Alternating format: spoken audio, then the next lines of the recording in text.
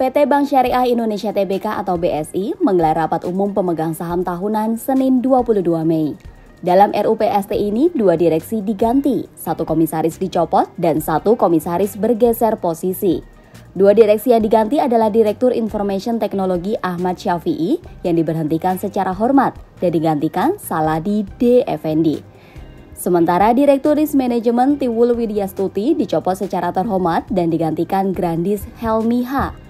BSI juga mengangkat mantan Ketua Dewan Komisaris Otoritas Jasa Keuangan Mulaiman Haddad sebagai komisaris utama, menggantikan posisi Adi Warman Azwar Karim yang digeser ke wakil komisaris utama.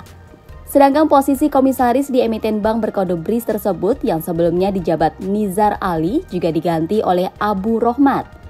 Menteri BUMN Erick Thohir mengakui perubahan direksi dan komisaris yang dilakukan merupakan evaluasi atas insiden gangguan layanan atau error beberapa waktu lalu.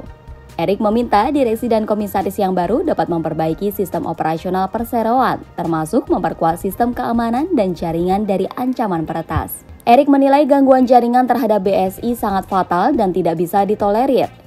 Kita mendengar begitu banyak kekecewaan dan keluhan dari masyarakat. Reputasi BSI sebagai bank yang menjadi tulang punggung ekosistem ekonomi syariah harus dijaga dengan baik, kata Menteri BUMN Erick Thohir.